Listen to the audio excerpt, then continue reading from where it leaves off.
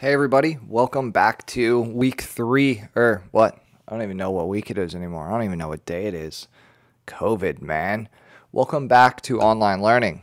Um, I know that it's a little bit of a bummer to have to be online uh, after just being in the class last week. Don't worry, we'll get to get back into class soon enough. But for what it's worth, we're going to have to endure somewhat. So this week, we're talking about neuromuscular fundamentals. We're going to go over muscle structure uh, muscle joint actions, as well as kind of how we actually send signal from the brain to our muscles and how our muscles contract. So, excitation, contraction, contraction coupling is what that term is called. There's a lot of content this week because it's a full chapter. I'm going to feel like I'm buzzing through it, but the perk of this being online is that you can rewatch it several different times. There's definitely going to be slides that I click over that we're not going to highlight. Um, some of the slides are just there for your background information as well. So if you have the slides printed out as you're going through this, um, doesn't mean the slide's not important. It just means that I'm trying to save you guys time in in your viewing pleasure, if you will. Right. So why do we even care about skeletal muscles? What the heck are skeletal muscles? Uh, and what's their functional property? You guys are far enough in this program that you already know this. I don't want to harp on it too much, but essentially, skeletal muscles are going to be the organs, the effector organs that are going to actually translate nervous system into movement, right? So muscle contraction produces force that actually moves joints. So because of the insertion in the origin or origin insertion of a muscle group, it's going to span a joint most times. So we'll actually when it moves, when that muscle either extends or contracts, it will actually pull on the more distal segment of the bone and cause a translocation or change its position within three dimensional space.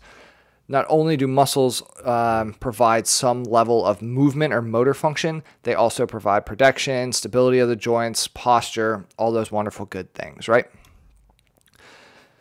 There's there's 600 muscles. You guys know this type of stuff from anatomy and physiology. There's a metric crap ton worth of muscles. We know that there's a ton of pairs of muscles, right? What's really what you really need to know is that muscles like to work in groups. Muscles like to span joints in groups and have cooperative action. So they like to have this concept of aggregate muscle action. And if you think about one great example is, is the quadriceps, right? So the quadriceps get to span the knee joint and kind of merge into the patellar tendon and are able to work together to translocate or move the uh, tibia and fibula through a, a plane of motion. These slides are really going to be, this next like five slides, I can't remember how many it is, are really going to be for you guys um, in trying to come up with nomenclature and start, start remembering those rules for how muscles are named certain things and really starting to not just learn the Latin, but really getting the uh, the connections going between everything here. So muscles are named due to a couple different things. One, visual appearance. Two, anatomical location. And three, function. Makes sense, right? Why would we name something random if we can name it logically? Example, shape, deltoid. What does delt mean? Three, rhomboid. What does rhomb mean? Right? Size, gluteus maximus. It's going to tell us what muscle it is because of the size of it, maximus. Uh, teres minor, you can look at it and see which one the teres minor is based on the size of it. Smaller. Number of divisions, tri means three, triceps brachii.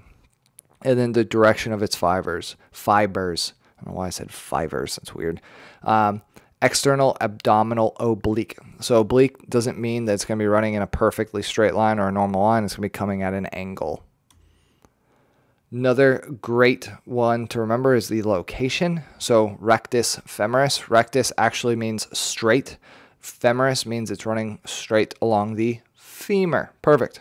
Points of attachment, another great one. Coracobrachialis is going to tell you that it's inserting or it's it's it's originating on the coracoid process right?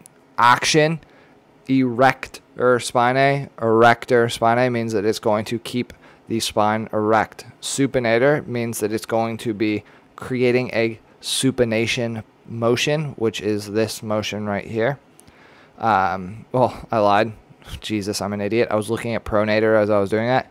Supination is palms forward, pronation is palms down. So action in shape would be that next one. Pronator quadratus. It's going to cause pronation, so it's going to cause palms down. It's called quadratus because it is shaped like a quadrilateral. Kind of cool, right? Um, there's also mnemonic devices to help you remember some of these different types of muscles. It will tell you like use these as you're as you're going through the muscles to come up with sentences or, or quirky little sayings to help you remember these things. Next slide, we're going to be focusing on muscle terminology. And by next slide, I mean next slide deck or next YouTube video lecture because I'm an idiot and I don't know how to talk, right? Next one, muscle terminology. Let's get through it.